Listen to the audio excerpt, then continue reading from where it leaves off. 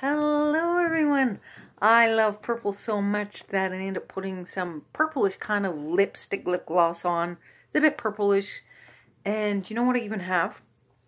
A purple puzzle. See this package? This is a puzzle, 24.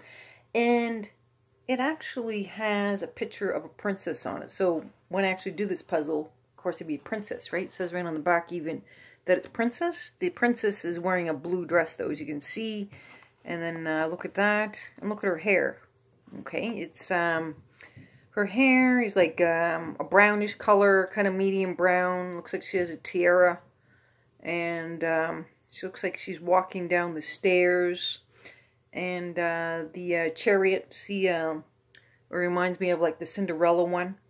And um, you can see on the, the box of the puzzle too, there's a castle, a pink castle. And if you look on the very back, see the princess and then the uh, the walkway uh, from the castle and the chariot there.